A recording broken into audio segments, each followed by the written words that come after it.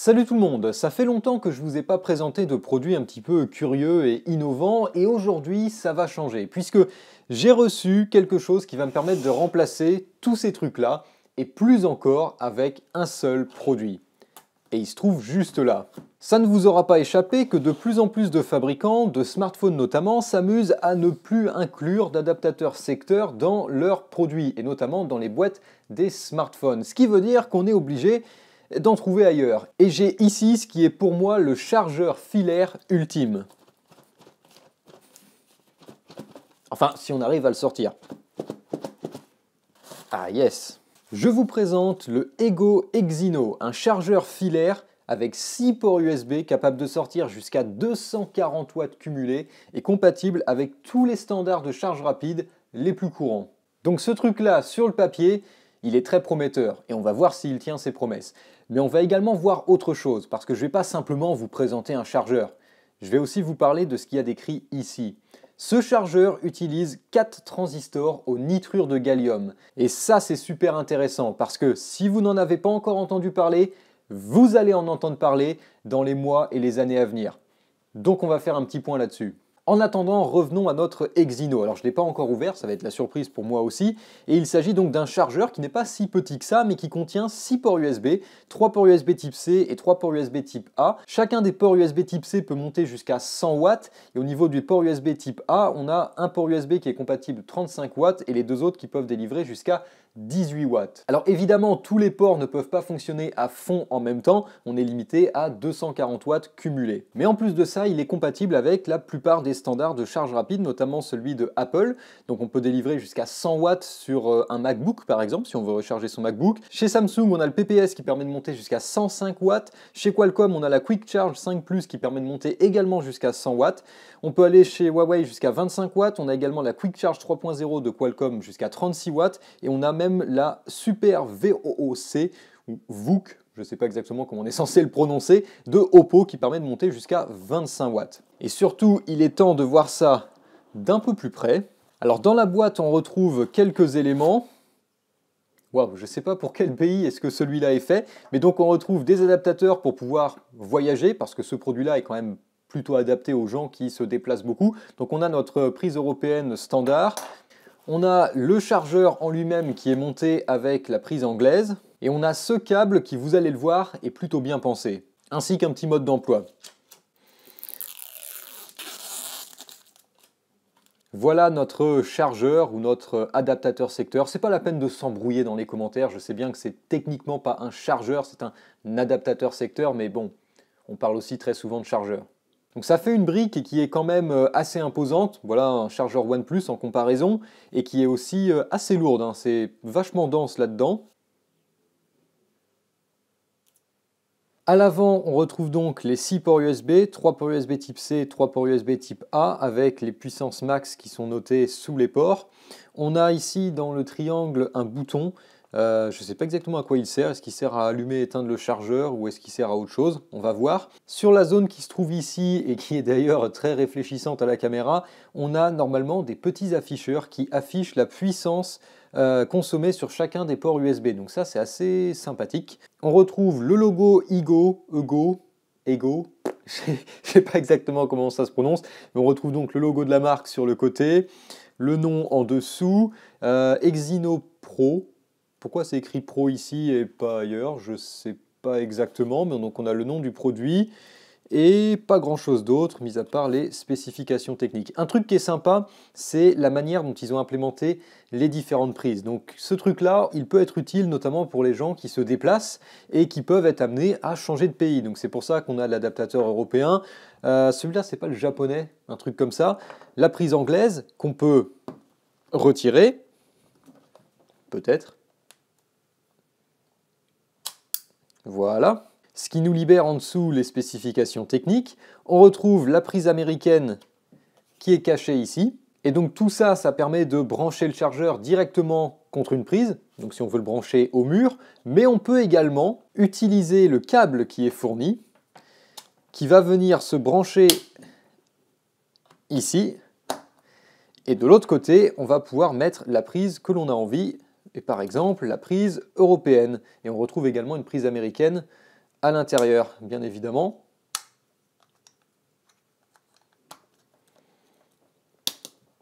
Et le câble qui est fourni fait 1,50 m de long, ce qui est excellent pour une autre utilisation.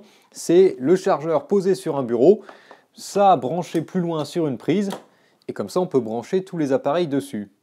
Donc on va le mettre sous tension. Oh, on a une petite animation sympa avec les afficheurs. Pour ceux qui l'auraient raté.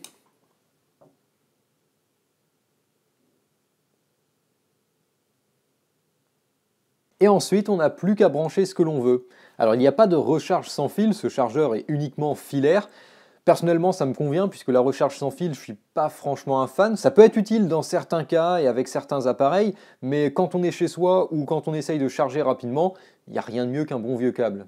Donc je peux par exemple charger mon iPhone qui bien sûr a été vendu sans chargeur, mais qui est vendu avec un câble type C vers Lightning. Donc on peut se mettre sur un des ports USB type C et on voit si ça charge ou pas. Alors j'ai actuellement 69% de batterie, nice, donc ça veut dire que c'est pas là que l'iPhone charge le plus vite, hein. généralement là où on charge le plus vite c'est entre, entre 10 et 70% de batterie. Donc là on voit la puissance, 12, 13, 14 watts, tout à l'heure j'ai eu une pointe à 16 watts. Alors on peut brancher d'autres choses, par exemple le Ulefone Armor 9T qui est normalement compatible avec la Quick Charge 3.0 de Qualcomm. Et effectivement, on charge actuellement à 12 watts, sachant que j'ai 67% de batterie. Normalement, il devrait pouvoir charger un petit peu plus vite. Faut que je vois un peu pourquoi. Info qui est bonne à savoir, c'est que le petit bouton qu'on a dans le triangle ici, il permet d'éteindre l'afficheur et la LED qui se trouve en dessous, ce qui permet d'utiliser le chargeur la nuit par exemple. Si vous l'installez dans votre chambre, ça ne va pas vous empêcher de dormir et on peut le rallumer en restant appuyé 3 secondes dessus. Point positif, c'est qu'il a l'air d'être silencieux. Il produit quasiment pas de coil wine. J'ai justement parlé du coil wine dans une vidéo précédente. D'ailleurs, je vous mettrai le lien dans les fiches si vous voulez en apprendre plus. Mais vous savez, quand vous avez des euh, systèmes d'alimentation à découpage, donc notamment les chargeurs de téléphone ou de PC portable, trucs comme ça, eh bien, ça peut produire un petit son aigu euh, qui est assez chiant.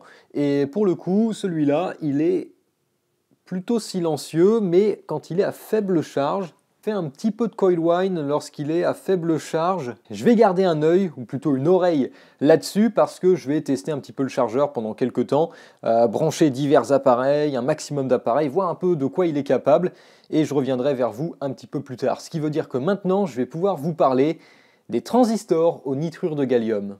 Vous l'avez vu, c'est écrit sur le devant de la boîte, c'est rappelé sur le côté, Qu'est-ce que ce GAN? Qu'est-ce que ça veut dire? Surtout que vous allez le voir de plus en plus sur de plus en plus de produits. Eh bien aujourd'hui, je vais profiter d'avoir cet Exino pour essayer de démystifier un petit peu la chose. Alors oui, aujourd'hui on va reparler du principe d'alimentation à découpage, je vais essayer de rester simple et accessible, et oui j'en ai déjà parlé justement dans la vidéo sur le coil wine, je vais essayer de ne pas être trop redondant, et je vous invite bien sûr encore une fois à aller voir cette vidéo, une fois que vous aurez regardé celle-ci. Si vous avez eu l'occasion de manipuler des appareils électroniques qui ont plus d'une quinzaine d'années, que ce soit parce que vous les avez chez vous aujourd'hui ou parce que vous vous amusiez avec à l'époque, vous vous souviendrez peut-être que avant qu'on ait nos petits euh, chargeurs ou adaptateurs secteurs comme on a aujourd'hui, eh bien la plupart du temps, on avait des grosses briques et le plus souvent, on ne parlait pas de chargeurs ou d'adaptateurs secteurs, on parlait de transfo. En voilà un exemple, et encore celui-là, il est relativement petit. Et la raison à ça, c'est parce qu'à l'époque, on avait des transfos, tout simplement des transformateurs, c'est-à-dire deux enroulages de fils autour d'un noyau ferromagnétique, qu'on peut utiliser pour augmenter, ou alors le plus souvent dans le cadre des petits transfos qu'on avait pour diminuer une tension, avec quelques autres composants électroniques pour avoir en sortie une tension continue, et on appelait ça un transfo. Ça prenait de la place, le plus souvent c'était pas capable de sortir une grosse puissance, c'était lourd, et en plus de ça, ça n'avait pas un rendement terrible. Et vous avez remarqué que depuis une grosse quinzaine d'années, ces trucs-là ont disparu et aujourd'hui on trouve des chargeurs, des adaptateurs secteurs qui sont beaucoup plus petits parce que ces trucs-là utilisent le principe de l'alimentation à découpage. Sur une alimentation à découpage, on va commencer par redresser la tension d'entrée. Donc on va transformer le courant alternatif qui vient de nos prises en courant continu. Ensuite, on va utiliser un transistor pour créer des impulsions. Donc on va ouvrir et fermer le transistor pour créer donc des impulsions. L'avantage c'est qu'on peut contrôler notamment la durée de ces impulsions qu'on va envoyer dans un transformateur. Le transformateur va faire son boulot, c'est-à-dire qu'il va le plus souvent abaisser la tension. Donc en sortie, on va retrouver des impulsions mais avec une tension plus faible qu'en entrée, et on va pouvoir rectifier ça pour récupérer une tension continue. Un des éléments clés d'une alimentation à découpage, c'est le transistor qui va nous permettre de faire du découpage. Donc ce transistor, on va tout simplement l'ouvrir et le fermer, on va l'utiliser comme un interrupteur pour créer des impulsions. Depuis de nombreuses années maintenant, on utilise des transistors classiques au silicium, le plus souvent des transistors MOSFET, c'est-à-dire des transistors à effet de champ. Il s'agit d'une des technologies de transistors qui existent, mais c'est pas sans quelques inconvénients. Et ces nouveaux transistors, ils ont pas mal d'avantages. Alors je vais pas vous faire tout le détail parce que, mis à part quelqu'un qui conçoit ce genre de circuit, bah, pour une personne lambda, ça va pas vraiment lui parler, mais on peut en citer quand même deux. Le premier, c'est un gain en efficacité, parce que comme je l'ai dit, sur une alimentation à découpage, notre transistor, on l'utilise comme un interrupteur, c'est-à-dire qu'on l'utilise soit ouvert, soit fermé, c'est-à-dire soit bloquant, soit passant. Notre transistor, il n'est pas parfait. Il va transformer une partie du courant qu'il traverse en chaleur. C'est pour ça que le plus souvent, ils sont montés sur des dissipateurs. Et c'est là où les nouveaux transistors au nitrure de gallium sont plus efficaces, plus efficients que les transistors classiques au silicium. Alors, il y a plusieurs raisons qui se cachent derrière ça, mais je ne vais pas rentrer dans le détail. Il faut juste savoir que techniquement, ça permet à ces transistors de produire moins de chaleur, de gaspiller moins d'énergie. Et là, ça ouvre deux possibilités, soit miniaturiser encore un peu plus le système parce qu'on peut utiliser un transistor plus petit, parce qu'on n'a pas besoin de la même dissipation qu'avant, et donc on peut réduire encore les dimensions et faire quelque chose de plus compact, ou alors faire quelque chose de plus puissant, c'est-à-dire que dans le même volume, on va pouvoir avoir un système capable de sortir beaucoup plus de puissance qu'avant parce que notre transistor est plus efficace et que le système va moins chauffer. Le deuxième avantage, c'est que ces nouveaux transistors sont plus rapides que les anciens. En effet, il faut un certain temps pour que le transistor commute, c'est-à-dire lorsque le transistor s'ouvre ou se ferme, c'est pas instantané. Et à ce niveau-là, les transistors GAN sont plus rapides que les MOSFET, ce qui veut dire qu'on peut utiliser des fréquences de découpage beaucoup plus élevées. Sur des MOSFET classiques, on peut être à plusieurs dizaines, plusieurs centaines de kilohertz. Sur des transistors GAN, par exemple ici on a des GAN Fast, alors ce ne sont pas que des transistors, ce sont des composants qui sont un petit peu tout en un de chez Navitas, c'est ce qui est utilisé sur ce chargeur Exino, mais je sais que dans la gamme de chez Navitas, ils ont des transistors donc, qui peuvent commuter jusqu'à 40 MHz. 40 MHz pour des transistors de puissance, c'est assez énorme. Et cette fréquence plus élevée peut aider à miniaturiser encore le système et à gagner en rendement. Ça a un défaut par contre, c'est que comme le transistor switch plus rapidement, le signal qu'il produit est un signal qui est beaucoup plus carré qu'avant, donc on a plus d'harmonique, donc le système rayonne beaucoup plus d'ondes électromagnétiques, et ça il faut le prendre en compte lors du design, sinon on se retrouve avec des problèmes de compatibilité électromagnétique. Ça me fait penser qu'on pourrait peut-être essayer de jeter un coup d'œil là-dedans et voir s'ils l'ont pris en compte. J'aimerais bien aller regarder à l'intérieur, le problème c'est que j'en ai qu'un seul, et c'est un exemplaire de pré-série, donc j'ai pas trop envie de le casser. Wow, ok. Malheureusement, je vais pas pouvoir aller beaucoup plus loin sans détruire toute la coque en plastique, et même en la détruisant, de toute façon, on verra pas grand chose, puisque tout l'intérieur est rempli avec une sorte de pâte un peu dure. Généralement, ça c'est pour éviter tout ce qui est coil wine. Tout le dessous a l'air d'être couvert avec un pad thermique pour transférer la chaleur au boîtier et essayer de la dissiper. Et ça explique aussi pourquoi ce produit donne la sensation d'être lourd et dense. Bah, c'est parce qu'il l'est. Je pense qu'il est temps de faire un petit débrief de cette Exino parce que je l'ai utilisé ces derniers temps et j'ai chargé euh, tous les trucs que j'avais à charger chez moi, donc toutes mes batteries sont pleines et j'ai quelques petites précisions, quelques petits retours d'expérience à vous faire. Tout d'abord, ça fonctionne et je dirais même que ça fonctionne bien. Alors c'est pas une grande surprise, hein, c'est juste un chargeur filaire. déjà, j'ai été agréablement surpris par le nombre euh, de protocoles de charge rapide qu'il supporte. Alors, il faut dire que les concepteurs de ce truc-là ont essayé de faire en sorte qu'il soit le plus compatible possible. Et même si j'ai pas tout essayé, je peux vous dire que la charge rapide sur iPhone fonctionne. Alors, la charge rapide sur iPhone, ça veut dire 26 watts. Et euh, oui, quand la batterie est bien déchargée, on arrive à grimper à 23-24 watts. Donc, on a bien la charge rapide à ce niveau-là également avec euh, des appareils compatibles avec la Quick Charge de Qualcomm. Et j'ai aussi été agréablement surpris de voir que là, alors c'est devenu la Dash Charge, donc la charge rapide de chez OnePlus, est également compatible avec euh, ce chargeur. La bonne nouvelle, c'est qu'il y a aussi plein d'autres marques qui sont prises en compte. La charge rapide de Huawei fonctionne, la charge rapide de Samsung fonctionne, Oppo, etc. etc. Ce que j'ai bien aimé également, c'est l'afficheur avec les différentes puissances. Alors on ne le voit pas très bien en ce moment parce qu'il y a beaucoup de lumière, mais ça c'est vraiment sympa pour garder un œil sur tout ce qui est branché et voir euh, qui consomme quoi, enfin quelle puissance est tirée par quel appareil. C'est un petit peu gadget, on est d'accord, mais c'est sympa. J'aime bien aussi le côté compact parce qu'on a une petite brique qui est quand même capable de sortir pas mal de puissance. C'est plus petit qu'un chargeur de MacBook par exemple, le chargeur standard qu'on a avec. J'aime bien aussi le câble qui permet donc de le mettre comme ici actuellement sur une table ou sur un bureau. Ça c'est très pratique si on veut être dans une configuration fixe, c'est-à-dire qu'on l'installe quelque part, à son bureau par exemple, et comme ça on peut venir brancher tous ces appareils si on n'est pas en train de se déplacer avec. Et j'aime bien également le fait qu'ils aient espacé les différents ports USB, c'est-à-dire qu'il y a un petit peu de place quand même entre chaque port USB, ce qui veut dire que même si on a un câble un peu plus encombrant ou qui prend un peu plus de place que les autres, on peut quand même euh, le brancher. Alors il y a quand même quelques points négatifs. Euh, le chargeur a tendance à chauffer un petit peu, surtout quand on commence à pomper un peu dessus. On sent que ça grimpe un peu en température. Et quelque chose d'autre qui m'a un petit peu dérangé, euh, c'est le coil wine. J'en ai parlé donc un peu plus tôt dans cette vidéo. Normalement, vous avez vu ça il y a quelques minutes. Mais euh, ce chargeur a tendance à siffler un petit peu. Pas quand il est en charge. Par exemple, là actuellement, on n'entend rien du tout. Mais quand il est à faible charge, c'est-à-dire lorsque l'on tire seulement quelques watts dessus, eh bien, il a tendance à siffler. Et ça, ça peut être un peu chiant si vous l'avez par exemple dans votre chambre, et une fois que votre téléphone a fini de charger, parce que quand il charge, il pompe euh, pas mal de watts dessus, donc ça s'entend pas. Mais une fois qu'il a fini de charger, eh bien, on entend le chargeur qui siffle. Et enfin, un autre point que j'ai trouvé un petit peu négatif, c'est le poids, parce que même s'il est assez petit, assez compact, il fait quand même pas loin de 400 grammes. Et 400 grammes, ça pèse. Euh, si vous mettez ça dans un sac à dos, bah, disons que vous le sentez. En tout cas, je vois quand même deux principaux cas de figure dans lesquels un chargeur comme celui-là peut être très utile. Soit quand vous avez beaucoup d'appareils à recharger, euh, chez vous, au lieu d'avoir plusieurs adaptateurs secteurs sur une multiprise parce que vous avez un téléphone Samsung, un téléphone Apple, un téléphone Huawei, etc. etc. vous pouvez avoir une seule brique d'installer quelque part, compatible avec quasiment toutes les charges rapides, et vous pouvez tout brancher directement dessus. Ou alors le deuxième cas de figure où ça peut être utile, c'est également quand vous voyagez. Si vous voyagez avec un PC portable, un smartphone et d'autres équipements, bah, ça peut être pratique là encore d'avoir un seul chargeur plutôt que d'entraîner plusieurs. Ce truc-là est tout à fait capable de charger un PC portable si celui-ci est compatible avec la recharge via USB type C. Donc au final, c'est quand même un très bon produit, surtout pour celui qui en a l'utilité. Moi, je sais par exemple que ça m'a été utile pour recharger bah, les différents appareils que j'utilise. Par exemple, quand je filme une vidéo, puisque à la fin d'une vidéo, eh bien, je suis obligé de tout rebrancher pour recharger toutes les batteries avant de pouvoir refilmer.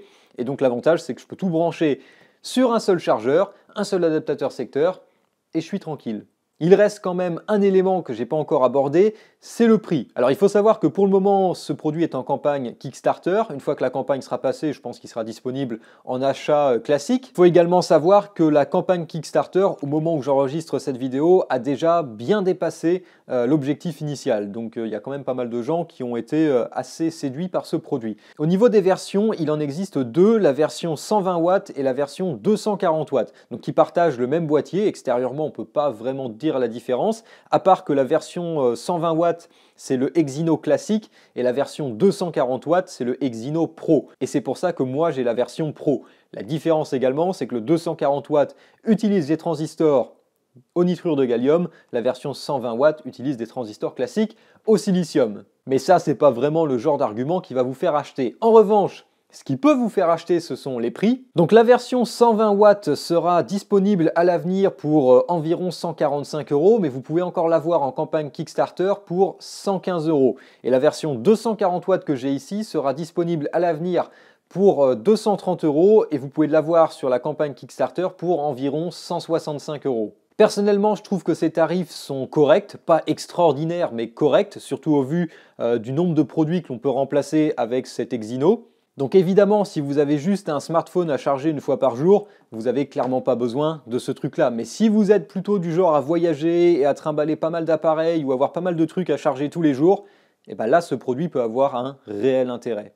Voilà, c'est tout pour cette vidéo. Je mettrai bien sûr dans la description les liens pour retrouver la campagne Kickstarter et toutes les infos euh, sur ce produit. Merci donc euh, à euh, Ego, Igo, pour m'avoir envoyé leur produit et avoir eu la chance de le tester. Si vous avez des questions, n'hésitez pas à les poser dans les commentaires. Merci d'avoir regardé cette vidéo. Vous pouvez également aller faire un tour sur utip.io slash goodwin pour soutenir la chaîne. Le lien est dans la description.